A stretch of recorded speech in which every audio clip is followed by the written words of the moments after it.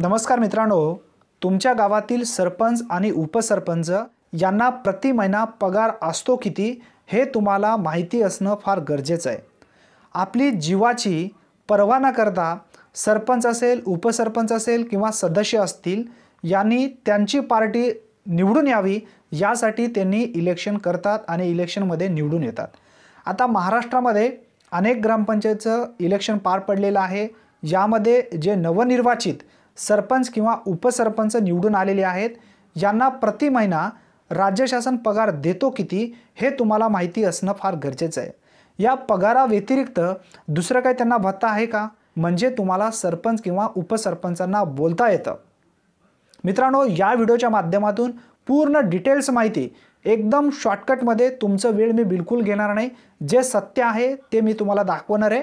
आणि यामध्ये सरपंच आणि उपसरपंचांना लोकसंख्यानुसार पगार दिली जाते. ती पगार कशा पद्धतीनं असते याची पूर्ण लाईव्ह मी तुम्हाला या व्हिडिओच्या माध्यमातून दाखवणार आहे. मित्रांनो तत्पूर्वी तुम्ही जर आपल्या यूट्यूब चॅनलवरती पहिल्यांदाच आला असाल तर यूट्यूब चॅनलला सबस्क्राईब करून बेल नोटिफिकेशनला क्लिक करा. चला तर मग व्हिडिओ सुरू करूया.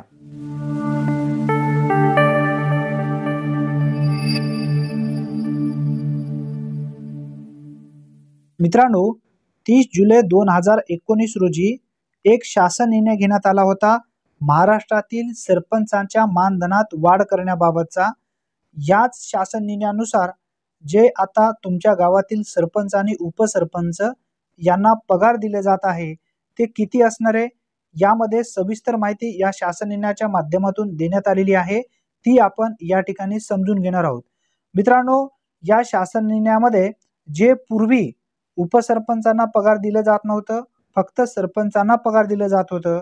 परंतु आता या शासन निर्णयाच्या माध्यमातून जे शासन निर्णय घेतलेला आहे उपसरपंचांना बी पगार दिलं जावं आणि सरपंचांना सुद्धा पगार दिलं जावं.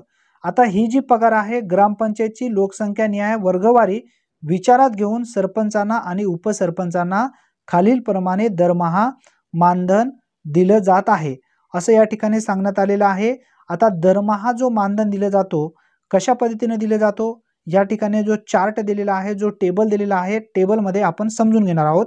आता बघा इकडे दिलेली माहिती आहे ग्रामपंचायतीनं ग्रामपंचायतीची लोकसंख्या निहाय वर्गवारी. यामध्ये झिरो ते दोन हजारपर्यंत लोकसंख्या असणारे जे ग्रामपंचायती आहेत राज्यामध्ये सतरा हजार तीनशे ब्याण्णव ग्रामपंचायती आहेत. आता या ठिकाणी जो प्रति महिना पेमेंट दिला जातो सरपंचांना झिरो ते दोन हजार लोकसंख्याच्या असणाऱ्या तीन हजार रुपये.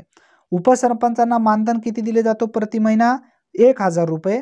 शासन अनुदान टक्केवारी जी आहे पंच्याहत्तर टक्के. आणि सरपंचांना शासन अनुदान रक्कम जी आहे सरपंचांना यामध्ये परत इथं बावीसशे पन्नास रुपये आणि उपसरपंचांना आहे सातशे वीस रुपये. अशा पद्धतीने या ठिकाणी झिरो ते दोन हजार लोकसंख्या असणाऱ्या ग्रामपंचायतींना पगार दिलं जातं सरपंच आणि उपसरपंचांना. त्यानंतर आता दोन हजार एक ते आठ हजारपर्यंत लोकसंख्या असणाऱ्या जे ग्रामपंचायती आहेत राज्यामध्ये नऊ हजार आठशे एक्केचाळीस. आता या ठिकाणी जे पगार दिलं जातं सरपंचांना किती? चार हजार रुपये प्रति महिना. उपसरपंचांना दिलं जातं पंधराशे रुपये. आणि शासन अनुदान जो आहे टक्केवारी पंच्याहत्तर टक्के. आणि त्यानंतर शासन अनुदान टक्केवारीनुसार जे दिले जातं अनुदान तो किती आहे? तीन हजार. सरपंचांना आणि उपसरपंचांना आहे अकराशे पंचवीस रुपये.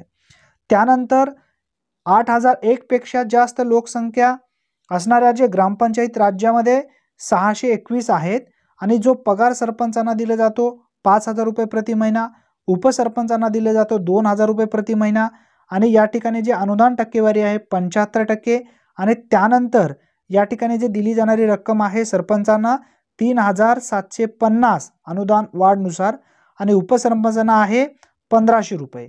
याप्रमाणे सरपंच आणि उपसरपंचांना सध्या पगार चालू आहे. तुमच्या गावातील जे नवनिर्वाचित सरपंच असतील किंवा या नं या दोन हजार एकोणीसमध्ये जे झालेले सरपंच असतील त्यांनासुद्धा शेम पगार होतं. त्याच्या पूर्वीच्या सरपंचांना थोडीशी कमी पगार होती. परंतु आता दोन हजार एकोणीस नंतर जे निवडून आलेले सरपंच आहेत त्यांना याप्रमाणे पगार दिली जात आहे. मित्रांनो अतिशय महत्त्वपूर्ण माहिती होती. प्रत्येक नागरिकांना ही माहिती अतिशय उपयुक्त आहे. तुम्हाला जर माहिती महत्त्वपूर्ण वाटली असेल तर व्हिडिओला नक्की लाईक करा आणि तुमच्या जास्तीत जास्त सहकार्यापर्यंत नक्की पाठवा. कारण प्रत्येक ग्रामपंचायतीपर्यंत ही माहिती पोहोचली पाहिजे. धन्यवाद मित्रांनो. पुन्हा भेटूया नवीन व्हिडिओमध्ये नवीन माहितीसह. तोपर्यंत जय हिंद जय महाराष्ट्र.